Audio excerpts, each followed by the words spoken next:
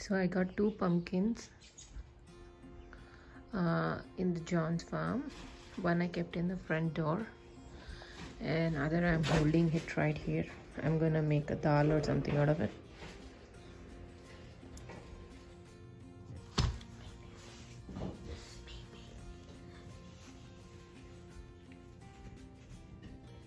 Today we are making pumpkin dal.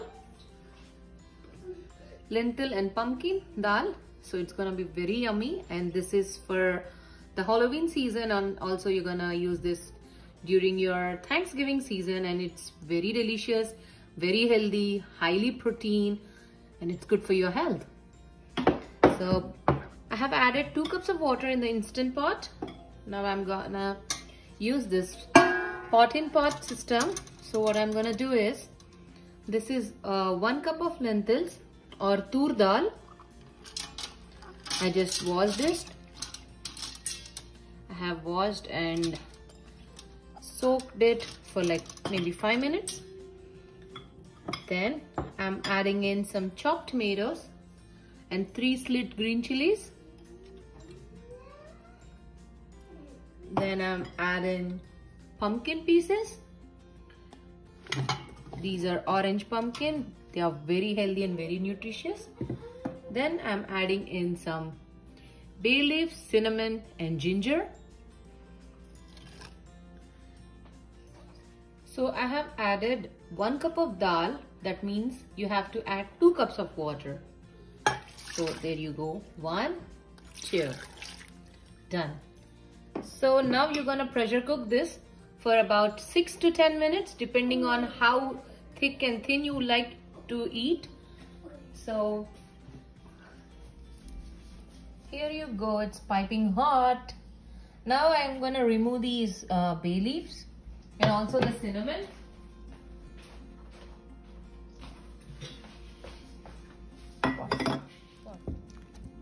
See how mushy they are?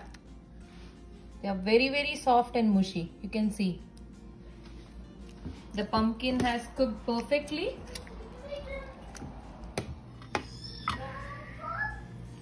So this is 2 tablespoon of ghee for tempering.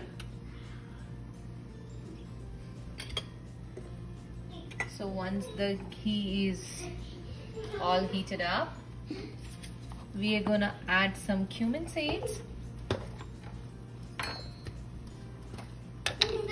About a tea tablespoon. Cumin seeds.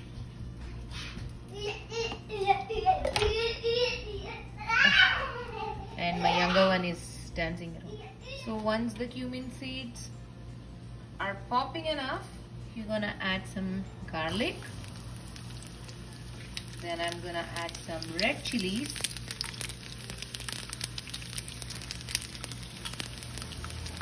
Then I'm gonna add curry leaves.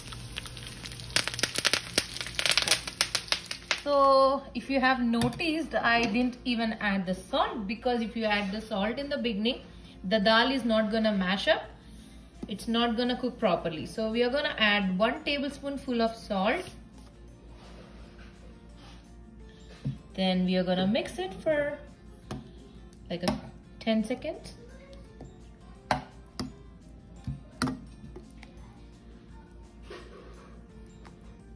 And if you like thin consistency you can go ahead and have it.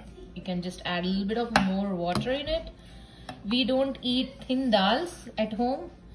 We eat something like this. It should be very very thick when we eat the dal. And now I'm gonna add tempering in it.